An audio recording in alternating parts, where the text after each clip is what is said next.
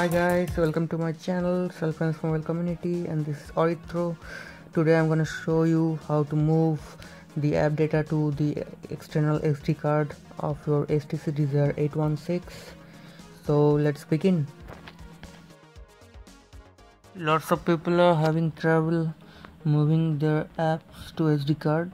So today I'm gonna show you how to do that.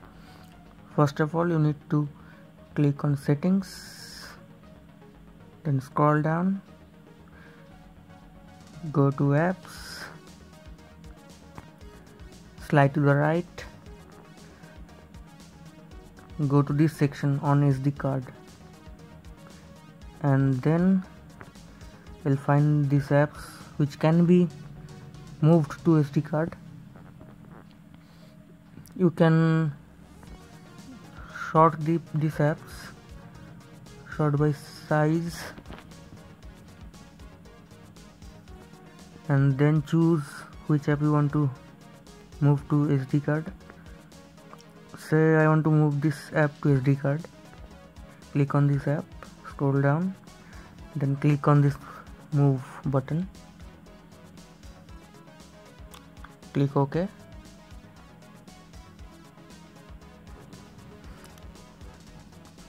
Now some portion of the app has been moved to SD card now. SD card app 2.06 MB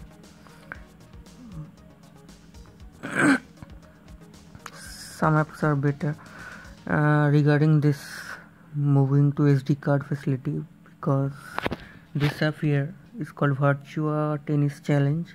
Can be moved most of most of the app can be moved to SD card like it is 3 or 4 MB in size and 299 MB can be moved to SD card.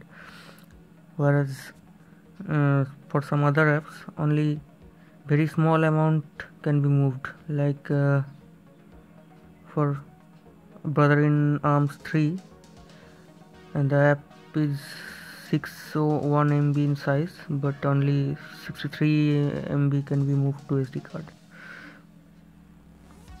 so this is how you can move uh, apps to SD card. Uh, it's not that good uh, good like those uh, good old days like uh, gingerbread when you, you could have uh, used this technique and move almost all the app, app data to the SD card but it's better to have something than nothing